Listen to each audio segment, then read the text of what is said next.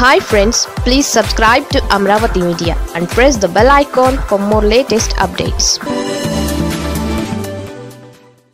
అక్కడో మాట ఇక్కడో మాట. పవన్ పలుకుల్లో ఏది నిజం? ఏ రోటికాడ ఆ పాట పాడడం రాజకీయ నాయకులకు కొత్త విషయం ఎంతమాత్రమూ కాదు. వారి సహజమైన శైలి అది. కానీ అందులో కూడా కొంచెం మితం ఉంటుంది. పూర్తి కాంట్రడిక్షన్గా మాట్లాడితే జనం నవ్వుకుంటారు. ఇప్పుడు పవన్ కళ్యాణ్ పరిస్థితి అలాగే తయారవుతోంది. జనసేనాని తనను చాలా దారుణంగా ఓడించిన భీమవరం నియోజకవర్గంలో బహిరంగ సభ పెట్టి మాట్లాడారు. తన ఓటమి గురించి మాట్లాడుతూ భీమవరంలో ఓడిపోయినా నేను పట్టించుకోలేదు. మనకు ఓటమి గెలుపు ఉండవు. ప్రయాణమే ఉంటుంది అంటూ త్రివిక్రమ్ మార్క్ సినిమా డైలాగులు చెప్పారు. ప్రయాణం మాత్రమే ఉంటుంది. ఓటమి గెలుపులను పట్టించుకోవద్దు అనుకునే నాయకుడే అయితే ఈ నాలుగేళ్ళుగా ఆయన తనను ఓడించిన భీమవరానికి ఏం చేశారు? ఆ భీమవరం గురించి ఏం పట్టించుకున్నారు?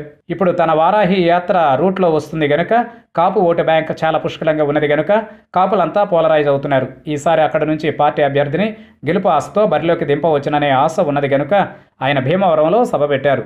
భీమవరంలో సభ పెట్టకుండా వారాహి యాత్ర ముందుకు వెళ్ళిపోతే జనం అనుమానిస్తారు గనుక అక్కడ సభ పెట్టారు. అలాంటప్పుడు తాను గెలుపు ఓటములను పట్టించుకోను అని ప్రయాణమే ఉంటుందనే డైలాగులు వేయడం ఎందుకు?